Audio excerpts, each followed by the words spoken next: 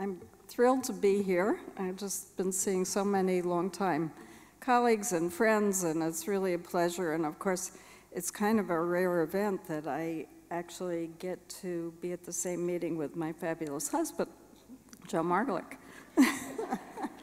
um, so I was asked to line up my comments around frailty and aging uh, in honor of the 10-year history of this meeting, starting 10 years ago. Uh, what I'm going to try and do is um, mostly talk about that, but I'd like to give you a perspective from a geriatrician's point of view, uh, because I am um, foundationally a geriatrician. Uh, is what, what the progression is that we have gone through.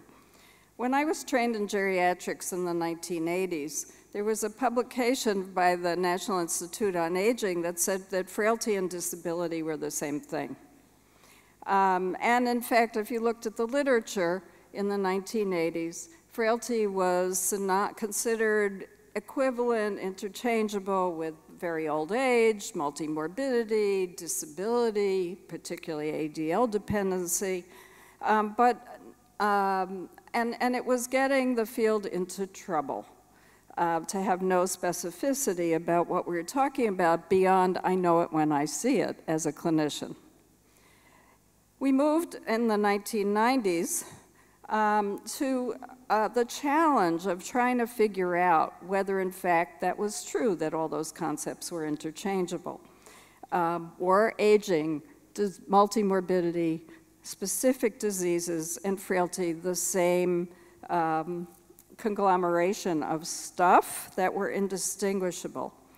And it was a challenge I particularly saw in caring for older patients that they had, they, frail patients I knew it when I saw it because my frail patients looked different. They looked different. And that began my own personal journey, but many other people as well, trying to wrestle with what we were talking about. Um, and I think in the 2000s, we emerged into some shared discussions uh, about frailty being a distinct geriatric syndrome, not the same as multimorbidity and disability, um, and perhaps with a distinct pathophysiology. To mark your 10-year history, I'll create a somewhat arbitrary dividing point here and say that since 2009, although it somewhat matches our own research, we have really been trying to characterize what I have come to believe is a distinct medical syndrome like angina, um, and that this frailty syndrome is linked to a distinct underlying pathobiology that is aging related but perhaps accelerated by disease. And increasingly, I believe, I'm trying to tell you the punchlines first. Um, I, increasingly, I believe, is the inverse of resilience accumulated damage along the way. Uh, as clinicians, we know that that matters, that the more disease burden you have, the worse shape you're in, just to be a little glib about it. So it wouldn't come as a surprise to think that accumulated organ system damage might have some effects here. Uh, might. And now, since 2015, the National Institute on Aging has been leading really the development of the new geroscience, which has a, an organizing thesis that there are shared biologic pathways that emerge in, uh, that are aging related, aging associated, aging driven, and that may emerge in the presentation of a syndrome of frailty as well as emerging in terms of disease development. So this is the arc that I'd like to present you to, uh, uh, present you with right now of where we've ended up, at least as, as I see the field. I, I started thinking about this um, as a young geriatrician um, for reasons that um, were various. One is I didn't know what I was talking about when I knew it when I saw it. And it was very clear in the literature that what I knew, what I thought I knew, didn't always match what everybody else thought they knew. Um, and we couldn't even actually characterize our patients unless we could develop some specificity. Um, and I did about 10 years of research uh, that you will never hear of because nobody would ever publish the papers, trying to figure this out. And, um, and it was very clear that this, this is a simple list from a series of studies I did asking geriatricians, how do you, what are the markers that you recognize that makes you think someone's frail? What are the clinical stigmata? And there was this list, declines in lean body mass and strength, weight loss, loss of endurance, slowed walking performance, relative inactivity, maybe even homebound, and sometimes and often decreased balance and mobility. I spent eight years try, doing studies trying to figure out why these things were in the same list.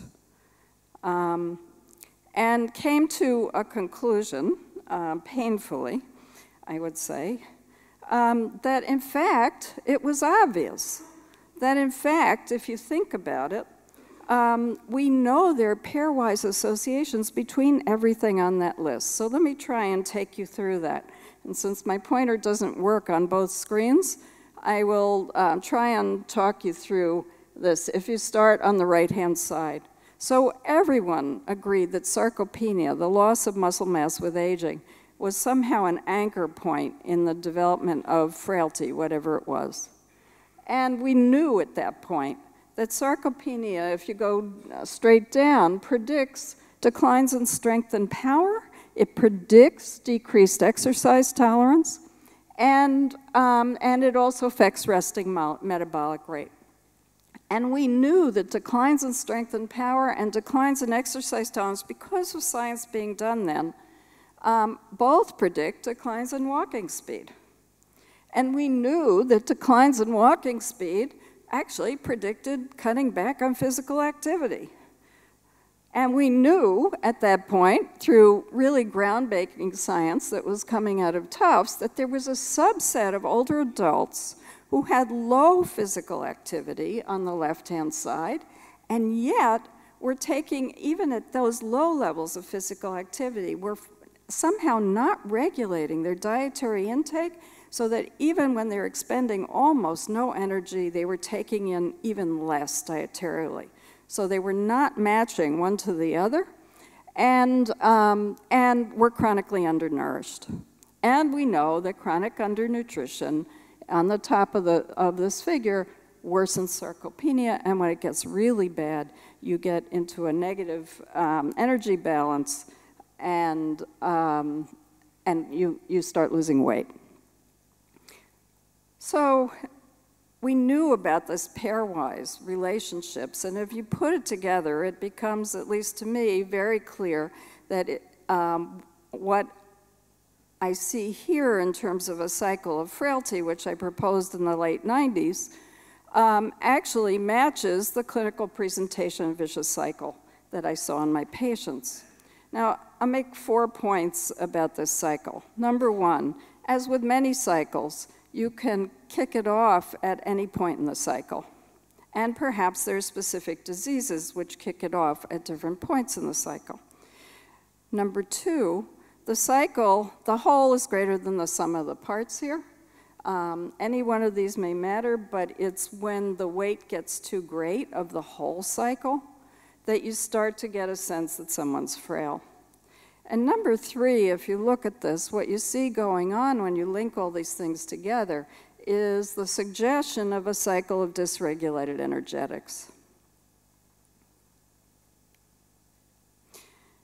Um, a, a, few years ago, later, after the development of, my development of this thesis, I had the opportunity to work with Russ Tracy, who's here, and a, and a group of fabulous colleagues hi Russ in, in, in the cardiovascular health study.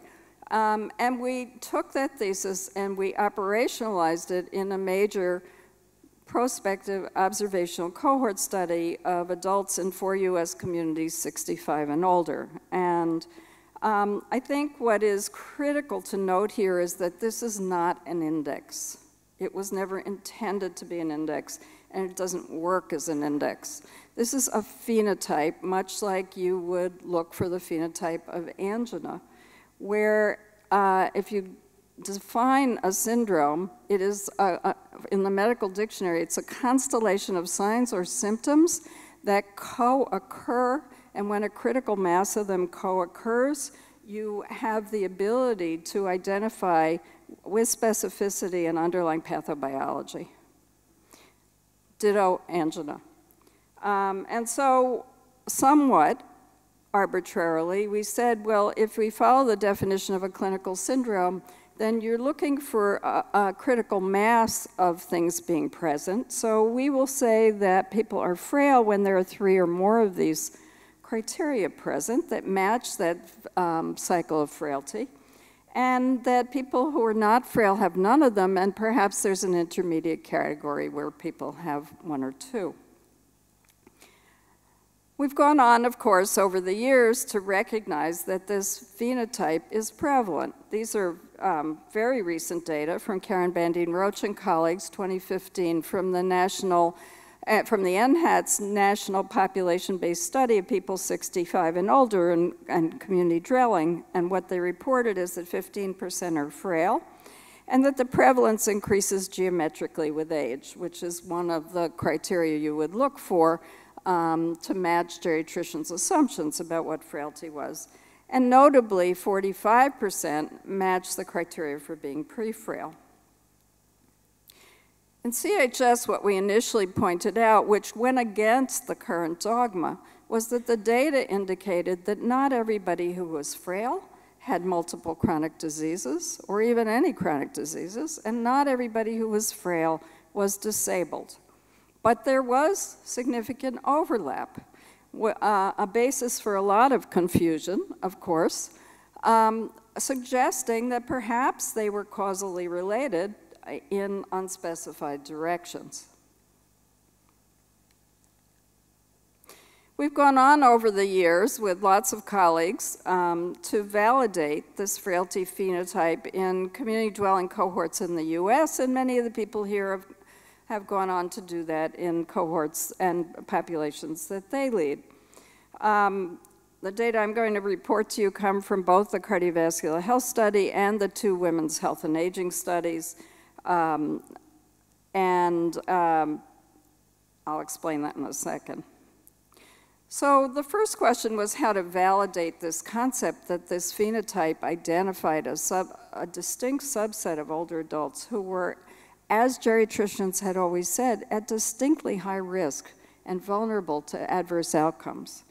And one most simple way to do that is to say, are they at risk of dying sooner? Um, that's sort of the beginning, not the end of the story, but uh, and lo and behold, what you see here from um, our original paper was that the people who, mat who were identified as frail, matching the phenotypic criteria, um, only 81% of them in CHS were alive three years later, um, compared to 97% of them of people who had none of those criteria and 93% who had only one or two. These were unadjusted data. When we adjusted for um, 78 different characteristics, which I'll show you in a second, including um, a whole long list of validated chronic diseases, um, those who had three or more criteria and matched our definition of being frail were at very high risk of a whole set of uh, adverse clinical outcomes independent of the individual or combined diseases that they had. Um, and the outcomes include mortality. It included disability, so that frailty was predicting disability, it included high risk for falls, for ending up in the hospital, for um, poor post-surgical outcomes, for, uh, for burn recovery, and for generally risk for slow recovery from illness.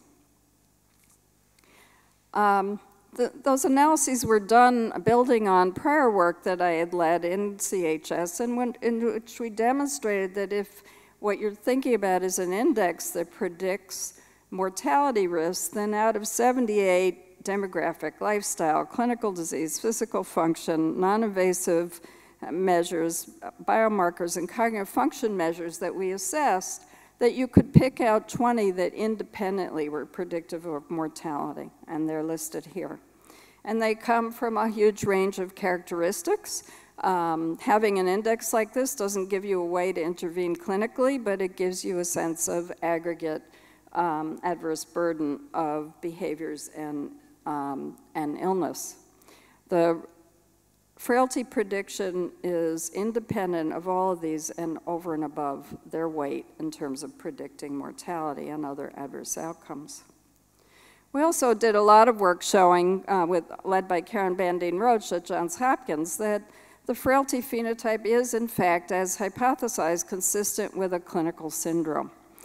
Um, the definition of a clinical syndrome essentially is that the whole is greater than the sum of the parts, so having a constellation of presentations that come together defines an underlying pathobiology um, in very specific ways. And Karen led meticulous work to, uh, to demonstrate analytically that in fact the syndrome matches the dictionary definition.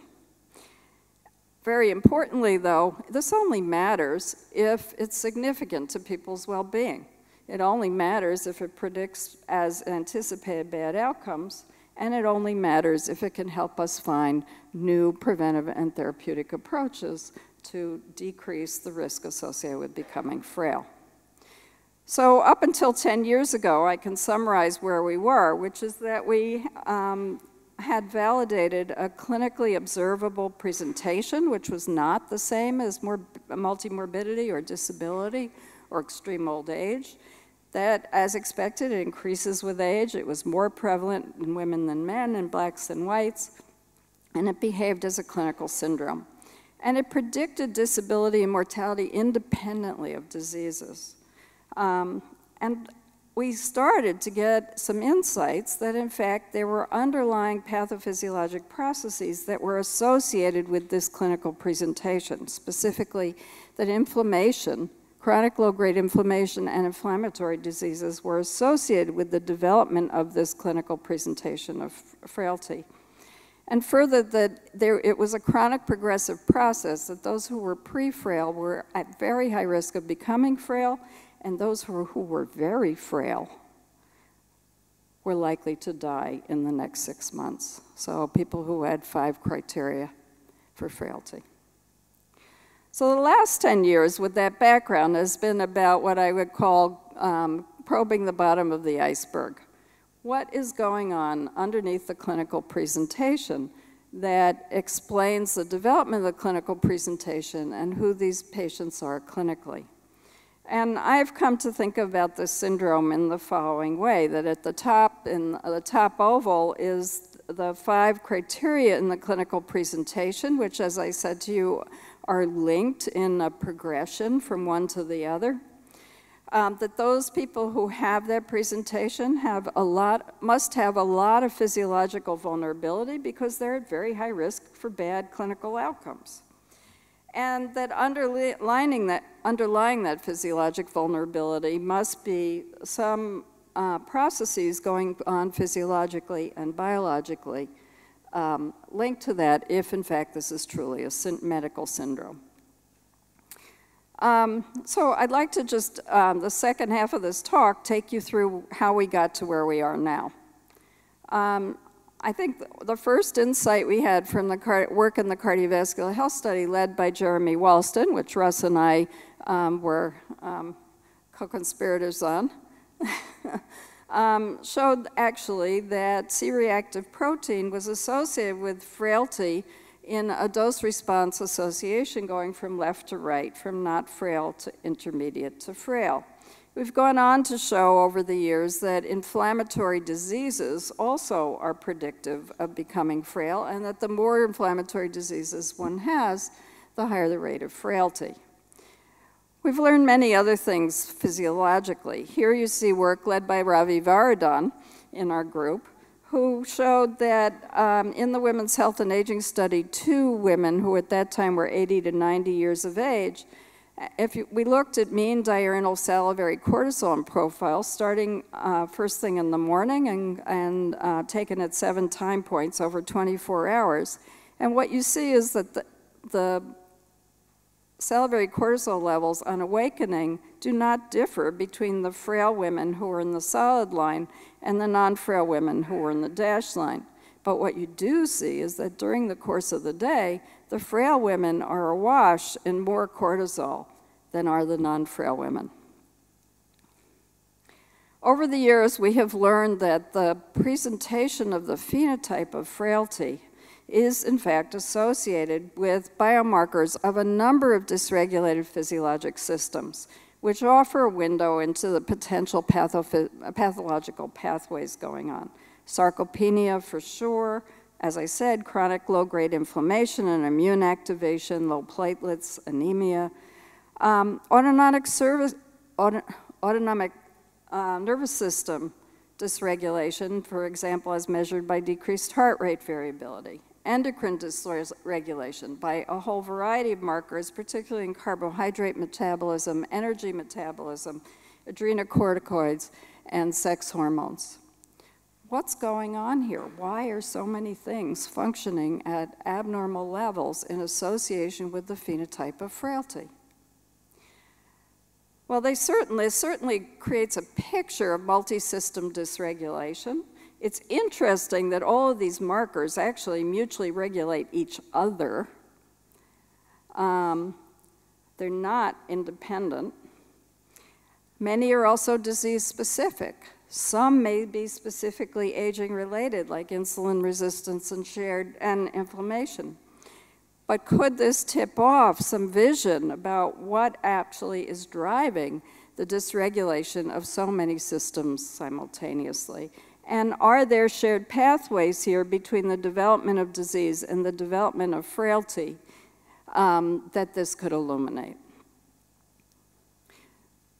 Well, the next step we took was to try and understand what it, what it might mean to have different systems dysregulated.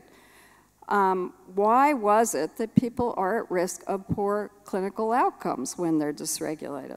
How do we understand that? And to do that, we conducted a series of um, challenge experiments with women 84 to 93 years of age who were in the Women's Health and Aging Study 2.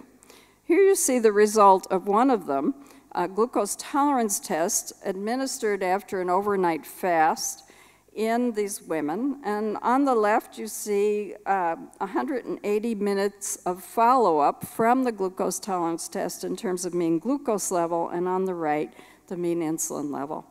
And the take-home point here is that the frail women in red, at baseline, their fasting blood sugar looks the same as the fasting blood sugar of the non-frail women in black and the pre-frail women in green.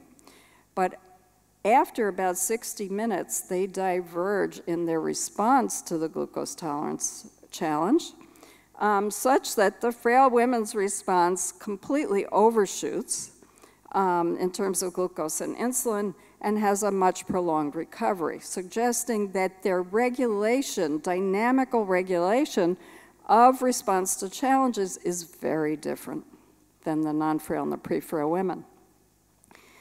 One of the other challenge stress uh, tests that we did was to um, have these same women do 30 second isometric calf exercise inside a magnetic resonance spectro spectroscopy imager. And we looked at phosphocreatine recovery in response to that 30 second exercise and over the course of the exercise. Um, phosphocreatine recovery, of course, um, tells you about whether they're repleting the ATP in the cell um, after it's expended in the exercise and how fast they're doing it and how fully. And what we found is that frail women had 43% slower phosphocreatine recovery and pre-frail women 15% slower than the non-frail women, suggesting that there's dysregulated energy production in these older women who are frail and that it might well be a factor that's contributing to the dysregulation of so many different physiologic systems. Story to be continued. Now, could that, for example, explain why we saw, looking at four hormones which are here, um, that every single one of them was at worse um, levels uh, if they were frail in the red compared to pre-frail in the yellow and non-frail in the green. Could there be some shared biologic driver that's affecting all of these in parallel simultaneously? Or are they affecting each other? Here you see actually um, the results of the two challenge tests I show you lined up side by side.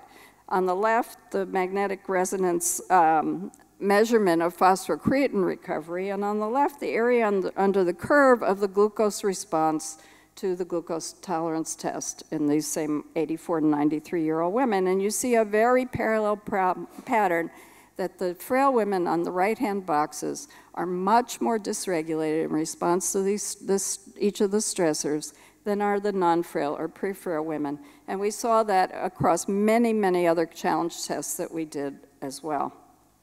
So, what are the implications? Well, the implications are, first of all, that energy is a big deal here uh, energy homeostasis, energy production, energy dysregulation. And we saw that in the MR spec studies with energy repletion being slower, suggesting perhaps decreased mitochondrial function. We saw that in terms of the glucose and insulin responses and a suggestion of insulin resistance and perhaps energy inefficiency or impair, uh, energy use impairment. And we found many other things about um, energy metabolism, such as um, less appetite stimulation in these same women and a pattern of leptin resistance. I don't have time to go into it. But, but many different dimensions of how the body regulates energy seem to be functioning abnormally here. And interestingly, these post-challenge findings consistently differentiate the frail from the non-frail pre-frail better than studying them at rest in a stable state. It's under stress that you see the difference because of a different stress response, which is completely consistent with what geriatricians think clinically. That people may not even look frail but when they get hit by a car, when they have the flu, their response is really different than when people are not frail. Um, and, and finally, the, the aligned findings across many different stress challenge experiments that we did suggest that we're seeing similar dysregulation in a dynamic state across many systems, not just uh, a hormone at a lower level. So, what are the implications of these multiple dysregulated systems associated with the phenotype of frailty? Well, I'll start by uh, a paper from 2008, which um, reported that what we saw was um, here, this is from the Women's Health and Aging Studies 1 and 2 combined, uh, women 70 to 79. And if you just look at the yellow and red bars, what you see is that going from the left the people who were, the women who were non frail, to the middle, the people who were pre frail, to the right, the women who were frail, you see that um, there is an increase in the number of systems dysregulated in association with frailty. So the yellow is four systems dysregulated out of eight, the red is five or more out of eight, and you see that if you're frail, you're most likely to have many systems not functioning right. You can look at that here uh, quantitatively in a different way in terms of the odds ratio, and what you can see is quite a dramatic progression in the risk of frailty in association with the number of physiologic deficits that people had. Um, going from an odds ratio of 4.8 for those with one or two out of eight systems abnormal to uh, an odds ratio of 11 if they had three or four systems abnormal to an odds ratio of 20 26 if they had five or more. But let me show you these same data a different way. This looks a lot simpler, but it's really complex. so here's the same data looking at the number of deficits out of eight systems at abnormal levels in association with the pre prevalence of frailty in the Women's Health and Aging Studies 1 and 2. And the important point to make here is not only does the likelihood of frailty increase going from left to right, but the relationship is nonlinear. The nonlinearity of this is particularly important. It speaks to the whole being greater than the sum of the parts, and it is the most critical indicator um, that we're talking about a problem that's about complex dynamical systems. What on earth are complex dynamical systems? Well, for example, the mutual regulatory systems that enable a human being to maintain homeostasis in the face of stressors. Nonlinearity is the foremost criterion for a complex dynamical system, but by definition, and I don't have time to go through all this, it involves the mutual regulation of component modular systems, which in fact is what I've been showing you about all these different systems that are dysregulated. They all regulate each other. And um, successful complex dynamical systems, which we live with, because they keep us from decompensating in the face of mild stressors, um, successful systems have huge redundancy and mutual regulation built into them. And, but, and everything looks great until the system's stressed. And when people are not functioning well, in this case because they're frail, that's when the abnormal function gets revealed, which is what I showed you before. This is the underpinning, we believe, of a robust and resilient, perhaps even healthy organism. And it's essential for our ability to maintain homeostasis, bounce back after stressors, and recover. And in this case, these findings link the physiology to the clinical presentation. What does that look like? Well, if you look at the top circle, which is all the physiologic systems that seem to be abnormal in frailty, um, they mutually regulate each other within the top circle, but they're also affected deeply by what's going on biologically. And if I, um, sorry, this got messed up.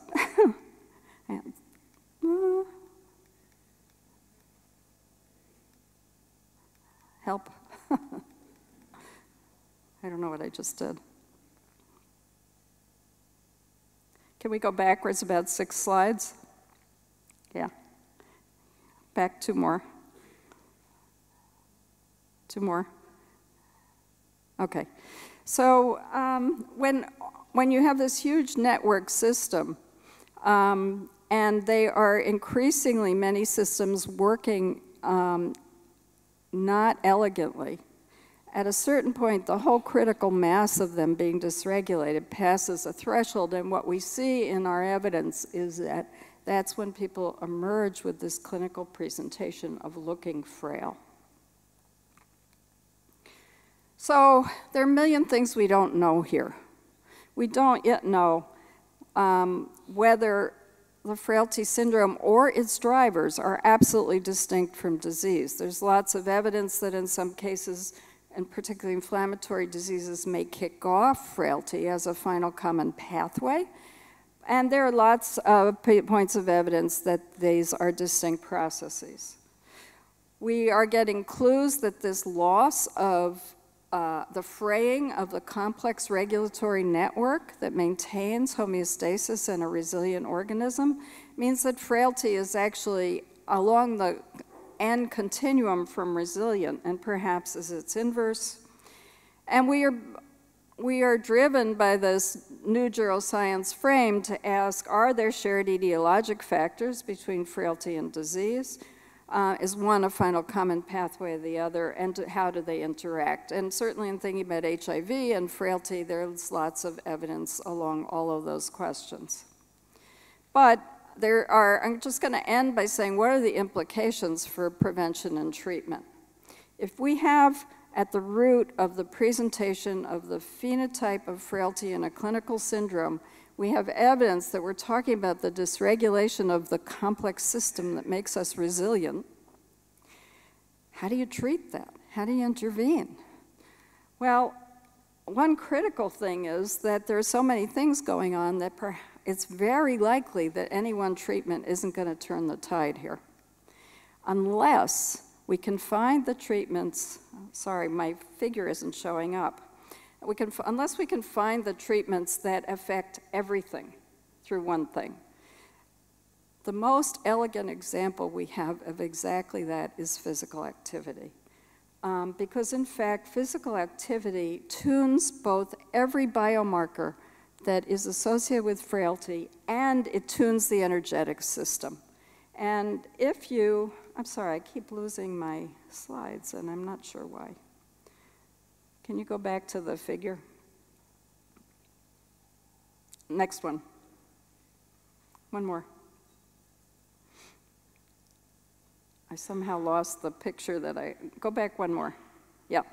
If you look at the syndrome of frailty and, and physical activity in the top left, um, the arrows indicate all of the, uh, some examples of the many things that physical activity tunes and upregulates, from improving strength in the top to um, lowering uh, inflammation and, and in the middle and affecting glucose regulation, et cetera, to actually upregulating mitochondrial function in the bottom circle. What an efficient intervention. So any intervention we find for preventing or treating frailty is going to have to be able to be that elegant and efficient.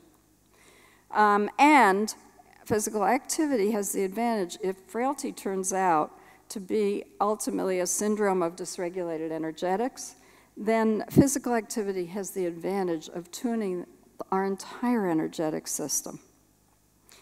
So if we think about the prevention of frailty and progression, there's a huge amount of interest in whether exercise and physical activity actually does what theoretically we might expect. We have these elegant data on frailty itself from the LIFE pilot trial, which suggests that in fact, um, regular physical activity in a walking exercise and balance and strength um, improving exercise trial does in fact here um, lower the prevalence of frailty phenotype and lower the mean number of criteria over a 12-month period. So the, the outcomes are optimistic, but ultimately successful prevention is going to need to think about the whole syndrome from the presentation to the underlying biology and physiology to find the most elegant solutions. Uh, and I'll end by saying that we believe that where we are is that frailty in 2019 is providing us with a window into the biology of vulnerability with an eye to what creates the reserves and resilience of, an, of a human being who can bounce back in the face of stressors. Thank you.